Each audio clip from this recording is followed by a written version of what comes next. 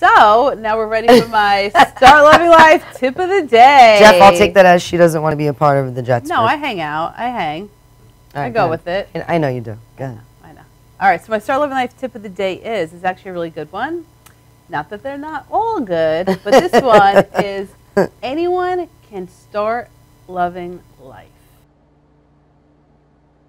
People think it's really difficult to start loving life, right?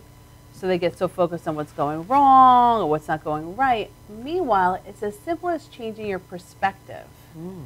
So, how do you change your perspective? It's you change what you focus on. Love it. So the simplest way to do it is you have to really think about what you're thinking about. okay. So your thoughts create your environment and your life. So if you make a point to focus on what's going well, chances are you're going to attract more of what's going well versus if you attract or focus on what's going not well, right?